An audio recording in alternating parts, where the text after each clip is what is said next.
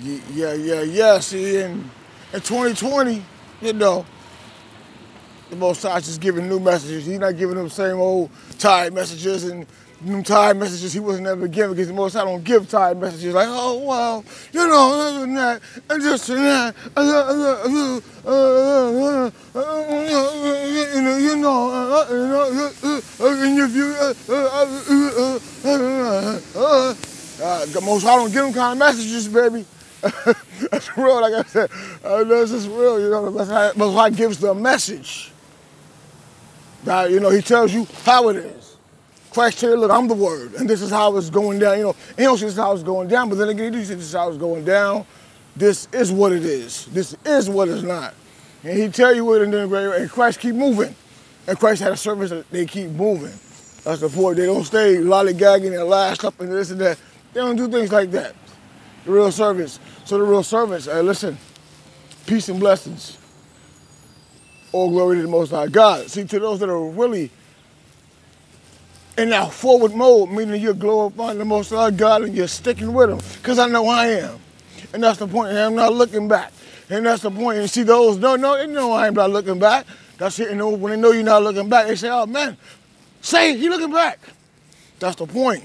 See, when you've already done it, is when they say that, when you've already done it, is when they say you're currently doing what you're not doing. Because see, the Most High has got you, he's got you where they, where they, where they need to be, where he wants his kids to be, and you know, what he desires that we all do. Look ahead, stop falling back on messages and trying to determine them, and just uh, know what your real role is. Because I know it's tough out here, it's tough out here, so you want to turn the man. Nah, me, every time I turn to the Most High God, which I've been doing, and see, that's not to stop. And see, I suggest those do the same. Don't let my don't, don't let words I say fool you because I'm gonna say these words regardless. If any words you hear fool you, and like I said before, then how are you? How are you living life? They're they're not fooling you. Stop playing the um, Joker's role and get serious. Stop using my, my words.